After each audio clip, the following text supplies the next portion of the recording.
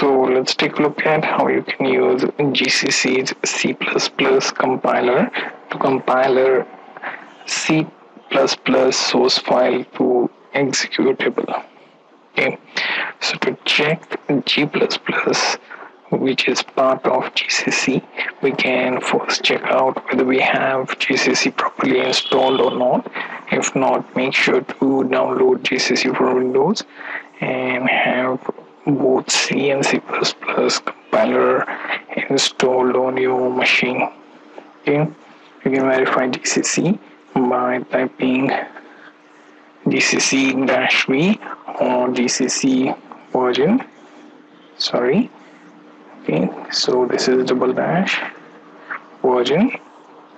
And you get the message which version is installed on your system.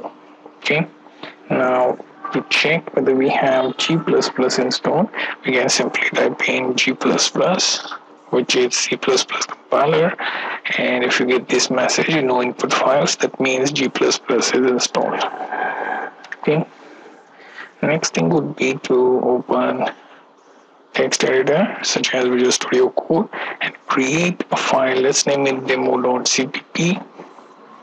Okay, and here you can see that I have it in the files directory and my command prompts path is also on the same line. So that we can easily type the code and then execute it. So let's start. Hash include okay. And here we will use iostream I don't have to type dot h because C++ takes care of that. Then use integer main integer argc and then character argv okay inside this I'm going to use standard cout and we will say something like DevNami G++ compiling file source file okay and then we can use slash n. Okay and then I'm going to use return 0 okay and then we will come out of the text editor open command prompt and type in g++ then demo.cpp then dash o and then let's name this executable file as demos so I'm adding s extra and I'm going to hit enter to see whether it compiles without errors and create demos executable.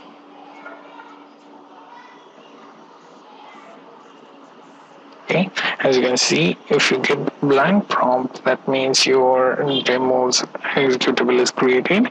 Simply type in demos, hit enter, and that should output DevNami G++ compiling source file. Okay. If you see message like this that means you have managed to compile from G++ compiler to executable okay so you get the idea how to compile C++ program with GCC's C++ compiler into executable